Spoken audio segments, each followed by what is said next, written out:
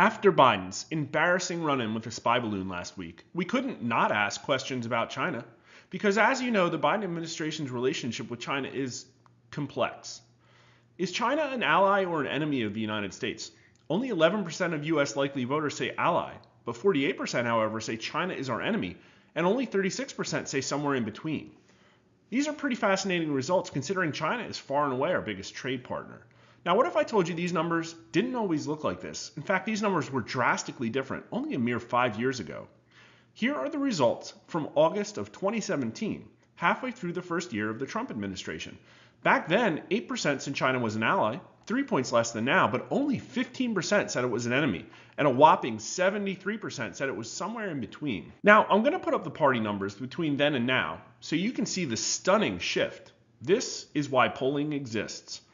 Let's start with Republicans. 8% still say China is an ally, but nearly 50% more Republicans say China is an enemy. Independents had a very similar, though slightly more muted response. Just 1% more of them said China is an ally, but China picked up 32 points of enemy among independents. But now let's look at Democrats. More than twice as many of them say China is an enemy than they did five years ago, which is still a pretty stunning shift. But unlike everybody else, Almost twice as many Democrats say China is an ally now, too. And looking back at 2017, Democrats, Republicans, and independents all pretty much agreed about China. So, where are these new China supporting likely voters coming from? Young men, most likely. 6% more men say China is an ally than women. But look at age. Voters over 40 are night and day different than those under 40.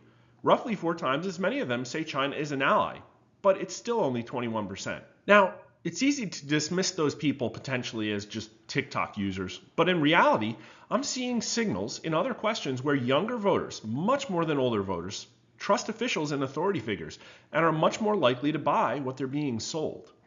But who, more than anyone else, thinks China is an ally? Well, if you've watched my other videos, you know what's coming next. Yep, it's those who strongly approve of Joe Biden 22% say China is an ally, and only 25% say it's an enemy. Among those who strongly disapprove of Biden, only 4% think China is an ally, but 74% say enemy. Now, I'm going to gloss over ratings of the way Biden is handling issues related to China. They're neither his highest nor his lowest issue, and to be honest, those who support or oppose Biden don't really seem interested at this point in objectively considering his agenda. People's minds are pretty made up. But here are party numbers, just in case you're interested. Only 21% of Democrats rate Biden poor on the issue of China, which I honestly thought was somewhat high. And 27% of Republicans give him something better than poor, which I also thought was pretty high.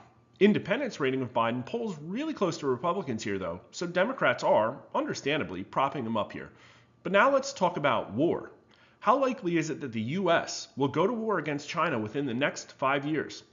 48% of U.S. likely voters say it's at least somewhat likely, but only 18% of them say very likely. 39% say it isn't likely, but again, only 11% say not at all likely. Now, Republicans are more likely to see war in the future, 58% of them, but the parties aren't that far apart. 45% of Democrats agree. And it's actually independents who are least likely to say war is likely, though that's because way more of them say they're not sure. What surprised me here is that younger voters were more likely to say they see us going to war, even though only 30% of 18 to 39 year olds said that China was an enemy, far less than anyone else.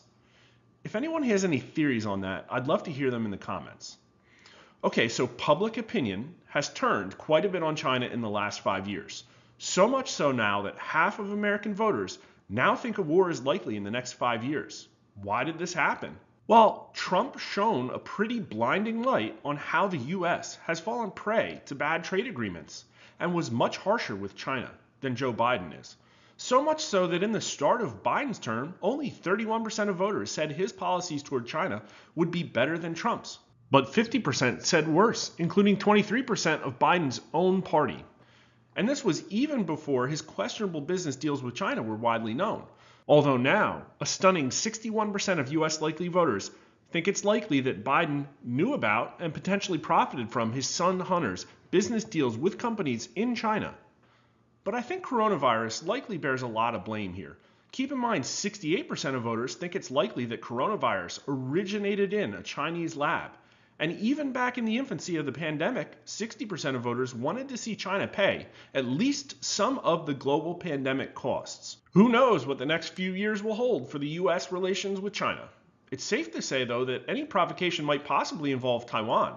So if you can think of any questions you want us to ask about Taiwan in an upcoming set, drop them in the YouTube comments. As always, please click follow if you're watching us on Twitter, or subscribe to the channel if you're watching us on Rumble or YouTube.